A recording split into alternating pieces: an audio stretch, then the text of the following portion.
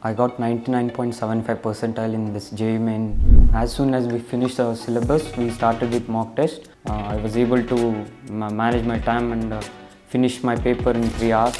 Uh, analyze your paper once and uh, try to uh, uh, resolve the questions which you went wrong in the exam.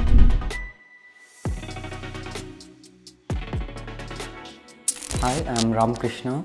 Uh, I got 99.75 percentile in this JEE main 2024 session 1 and uh, uh, these mock, mock tests which I wrote at the end of uh, the uh, December or January uh, it helped me a lot uh, to improve in my uh, JEE main session 1. Uh, after every mock test you, you should analyze where you went wrong and what went correct for you and which topics you felt difficult.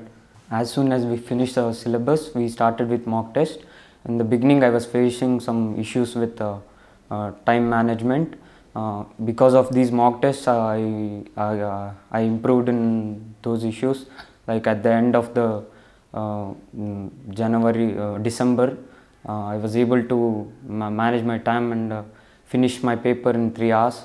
Uh, I attempted around 25 mock tests and we wrote some other institution paper also which uh, exposed me to more uh, different kind of questions apart from which we used to write in these Deeksha tests which helped us a lot. After every mock test I used to analyze my paper and I used to go to te- teachers where I went wrong, uh, how should I correct it like mm, some like uh, math you may be feeling difficult uh, you should go to the that subject teacher and ask them wha- what is what went wrong and how should you improve in that uh, particular topic. Uh, just uh, uh, analyze your paper once and uh, try to resolve the questions which you went wrong in the exam.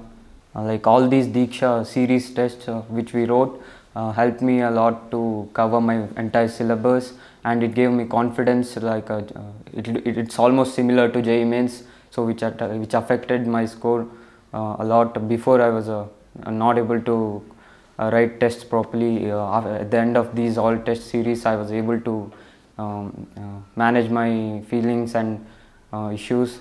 And Deeksha series helped me to do well in my first mains attempt. And thank you Deeksha and all teachers who helped us a lot to score well